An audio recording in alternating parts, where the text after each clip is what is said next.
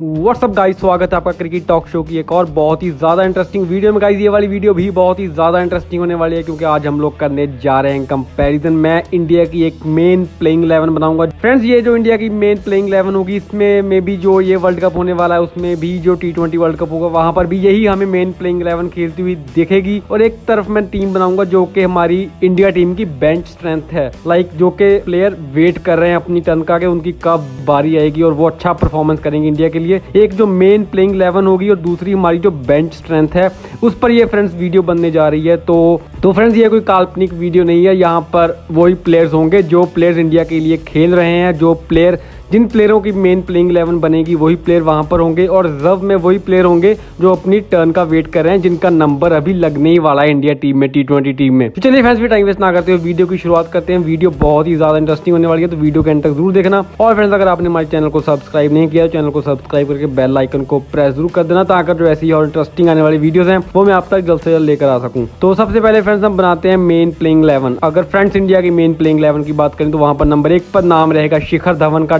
Definitely Shikhar Dhawan को ये खिलाने वाले हैं अपनी टीम में। और फ्रेंड्स इनका साथ देंगे रो सुपर हिटमैन शर्मा। नंबर तीन पर फ्रेंड्स वहाँ पर खेलेंगे विराट कोहली, जो कि हमें इस टीम की कैप्टनसी भी करते हुए नज़र आएँगे।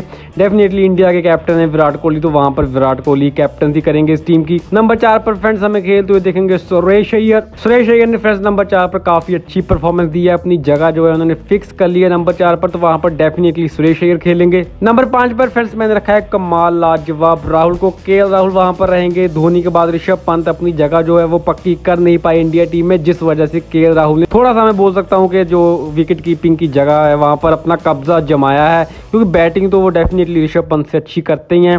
अभी वो विकेट कीपिंग भी कर रहे हैं तो इंडिया टीम अभी उन पर विश्वास दिखा रही है। और विराट कोहली का ये बयान भी आया था कि के राहुल हमें अभी विकेट कीपिंग करते हुए देखेंगे थोड़े लंबे समय के लिए। तो नंबर छः पर फ्रेंड्स वहाँ पर मैंने रखा है हार्दिक पांड्या को। और मेरे जो दूसरे ऑलराउंडर होंगे नंबर सात पर फ्रेंड्स वहाँ पर मैंने रखा है रविंद्र जडेजा को। Sir Jadeja will be there तो ये दो इस टीम के ऑलराउंडर हो गए फ्रेंड्स नंबर आठ पर फ्रेंड्स वहाँ पर मैंने रखा है भुवनेश्वर कुमार को, जो कि बहुत ही अच्छे बॉलर है, काफ़ी अच्छी तरह से स्विंग करवाते हैं बॉल को। और इसके बाद फ्रेंड्स नंबर नौ की बात करूँ तो नंबर नौ पर मैंने रखा है मोहम्मद शामी को। यहाँ पर डेफिनेटली हमें भुवनेश्वर कुमार का साथ देते हुए नज़र आएँगे मोहम्मद शामी, जो कि इंडिया की मेन प्लेइंग इलेवन का हिस्सा होंगे। नंबर दस पर वहाँ पर मैंने रखा है फ्रेंड्स यूजी चाहल को। यहाँ पर कुलदीप यादव भी आ सकते थे, लेकिन अगर मेन प्लेइंग इलेवन में बना रहा हूँ तो मेरे हिसाब से मुझे लगता है अगर इनको एक स्पिनर लेना है इन दोनों में से तो ये योशविंदर चहल के साथ जाएँगे, क्योंकि इनके पास एक लेफ़्ट आर्मर पहले से ही है रविंद्र जडेजा तो ये दूसरा लेफ़्ट आर्मर नहीं खिलाएँगे, ये राइट आर्मर यूजी चहल के साथ जाएँगे। नंबर ग्यारह पर मैंने रखा है फ्रेंड नो डाउट आपको सभी को लोगों को पता होगा बूम बुम जसप्रीत बुमराह तो ये जो मेन प्लेइंग इलेवन है, ये तो काफ़ी स्ट्रॉन्ग है। अब देखते हैं फ्रेंड्स जो इनकी बेंच स्ट्रेंथ है, इनका जो रिज़र्व इलेवन है, क्या वो इतनी स्ट्रॉन्ग है कि वो प्लेइंग इलेवन जो हमारी मेन प्लेइंग इलेवन है, उसको टक्कर दे पाएगी। चलिए फ्रेंड्स फिर देखते हैं नंबर एक पर। फ्रेंड्स वहाँ पर मैंने रखा है पृथ्वी शॉ को। पृथ्वी शॉ एक बहुत ही उभरते हुए सितारे हैं भारतीय टीम के लिए। अभी टेस्ट मैचेस में भी जब उनको मौका मिला था, काफ़ी अच्छी परफॉर्मेंस उन्होंने दी थी। तो इसलिए इस टीम में मैंने ओपनिंग पर रखा है पृथ्वी शॉ को, जिनका साथ देंगे फ्रेंड्स संजू सैमसन।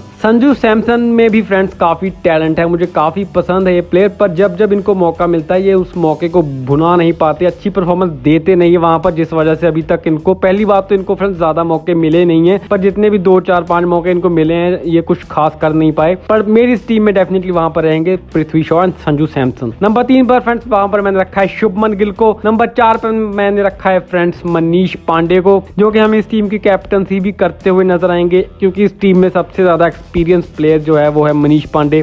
तो डेफिनेटली इस टीम की कैप्टनसी मैं मनीष पांडे को ही दूँगा।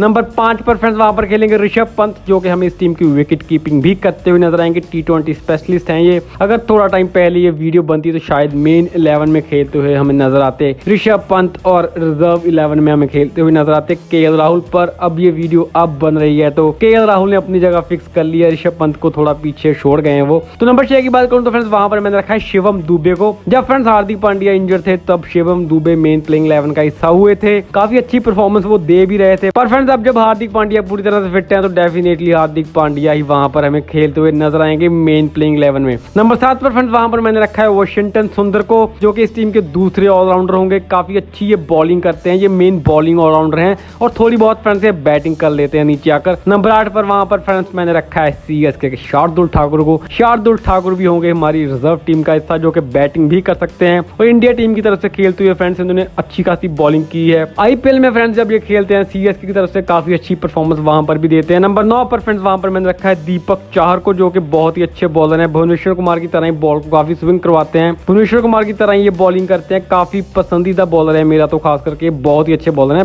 दीपक चाहर वहाँ पर रहेंगे। नंबर दस पर फ्रेंड्स रहेंगे नवदीप सैनी और नंबर ग्यारह पर मैंने रखा है कुलदीप यादव को। तो फ्रेंड्स ये दोनों टीमें कुछ ऐसी दिख रही है। मेन प्लेइंग इलेवन की बात करूँ तो शिखर धवन, रोहित शर्मा, विराट कोहली, सुरेश के राहुल हार्दिक पांड्या अरविंदर जडेजा भुवनेश्वर कुमार, मोहम्मद शामी, यूजी चहल, जसप्रीत बुमराह, रिज़र्व इलेवन की बात करूँ, बेंच स्ट्रेंथ की बात करूँ तो वहाँ पर है फ्रेंड्स पृथ्वी शॉ, संजू सैमसन, शुभमन गिल, मनीष पांडे, ऋषभ पंत, शिवम दुबे वाशिंगटन सुंदर, शार्दुल ठाकुर, दीपक चाहर नवदीप सैनी और कुलदीप यादव। अब फ्रेंड्स अगर कंपैरिजन करना है तो डेफिनेटली जो मेन प्लेइंग इलेवन है वो ही खतरनाक होगी। वहाँ पर बुमराह, शामी, भुवनेश्वर, शिखर धवन, रोहित शर्मा, विराट कोहली, के राहुल बड़े बड़े नाम वहाँ पर हैं। यहाँ पर अभी जो प्लेयर्स हैं, वो इतना ग्रो नहीं किए, जैसे कि पृथ्वी शॉ, संजू सैमसन, शुभमन गिल, शिवम दुबे नवदीप सैनी, पर ये इन प्लेयरों में फ्रेंड्स टैलेंट काफ़ी है। अगर इन दोनों टीमों के बीच मैच होगा, ये नहीं मैं बोल सकता कि हंड्रेड जो हमारा रिज़र्व है, जो हमारा बेंच स्ट्रेंथ है, वो हंड्रेड मेन प्लेइंग इलेवन से हार जाएगा। हाँ ऑन द पेपर मैं बोल सकता हूँ कि ये टीम डेफिनेटली वीक लग रही है।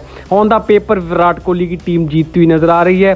पर अगर इन दोनों की टीमों के बीच फ्रेंड्स कभी मैच हुआ तो जो हमारे रिज़र्व में बैठे हैं प्लेयर वो भी हमारी जो मेन प्लेइंग इलेवन को है, वहाँ पर टक्कर दे सकते हैं। और फ्रेंड्स रिज़र्व इलेवन में मैंने वही प्लेयर रखे हैं, जिनका अभी इंडिया टीम में टी ट्वेंटी टीम में आने का कोई चांस है। जिनका कोई चांस नहीं है, जैसे कि जिनके रहाने सुरेश रैना थे हमारे, उनका भी कोई चांस नहीं है। सुरेश रैना तो रिटायरमेंट ही ले लिया उन्होंने रॉबिन थापा थे। तो उन प्लेयरों को मैंने नहीं रखा, मैंने सिर्फ़ उन्हीं को रखा है, जिनका अभी इंडिया टीम में आने का चांस है। तो फ्रेंड मेरे हिसाब से तो विराट कोहली टीम डेफिनेटली जीती हुई नज़र आ रही है। आप सभी लोगों को भी फ्रेंड्स यही लगेगा जो मेन प्लेइंग इलेवन है, वही जीतेगी, वही ज़्यादा स्ट्रॉन्ग है। पर आप लोग ये बताइए कि रिज़र्व इलेवन हमारी कैसी दिख रही है? मुझे तो हमारी रिज़र्व प्लेइंग इलेवन की जो टीम है फ्रेंड्स वो भी काफ़ी स्ट्रॉन्ग लग रही है। तो इससे हमारी रिज़र्व प्लेइंग इलेवन से पता चलता है कि भारतीय टीम का जो भविष्य है, वो बहुत ही अच्छे हाथों में है। और फ्रेंड्स हमारी इस वीडियो को अपना कीमती समय देने के लिए बहुत बहुत धन्यवाद।